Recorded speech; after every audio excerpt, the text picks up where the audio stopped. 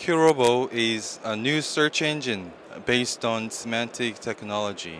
In the existing search engine, when users search a certain keyword, uh, they get the results that contain the same word, and the, the results are so uh, vast and huge, so users must click on uh, many number of pages.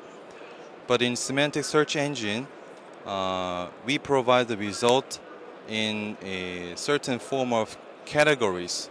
So users can easily narrow down their search according to proper categories that the search keyword belongs.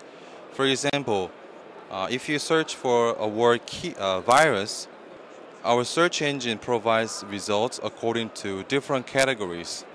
Uh, for example, virus in biology and virus in computing uh, environment. So users can easily locate the exact information they really want. Uh, but in keyword-based search engine, uh, they have the pages that contain the word virus and there's uh, too much information. So it is not easy for them to find um, the information they exactly want. And also, our QRobo uh, provides personalized search result. So if one user prefers to uh, search uh, what is related to politics, then we can bring up the results that are relevant to the politics to the top so that uh, users can easily find what they really want. So that is the uh, advantage of the semantic uh, search engine, our QRobo.